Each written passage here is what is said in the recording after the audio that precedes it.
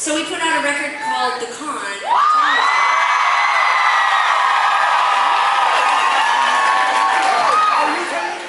It's a, it's a funny record because uh, we didn't necessarily know at the time that it was going to be such a popular record. Uh, we actually went through a lot of turmoil around the time that we made that one. And at least for me anyways, I didn't know if we would ever even make another record after that one. Um,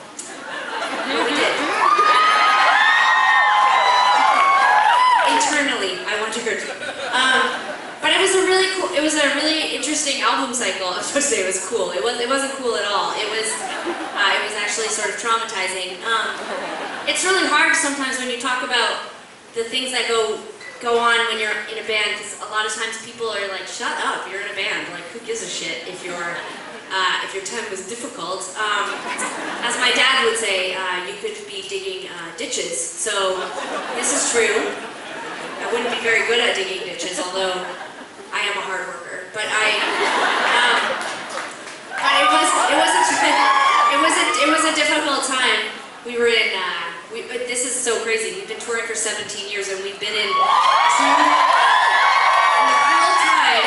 Knock on knock on wood, but we've only been in two accidents uh, on our in 17 years, and, and two, the two accidents that we had in our bus were on the record, the con. We actually were in two. I know I'm bringing it way uh, down, but it was it was just one of those periods of our lives where I just felt like everything was sort of cursed, and um, and it was sort of one of those albums where I think that we were being tested, and and when we saw sort of how important the songs were to people and how much they were resonating with people, it was really the only thing that kept us from uh, just going and digging uh, ditches.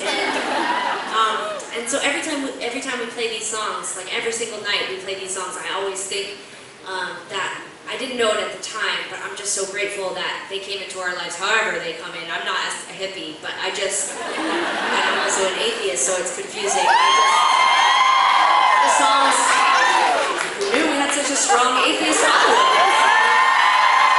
people in DC, man, they're just like anarchy. But so, anyways, um, that was for you.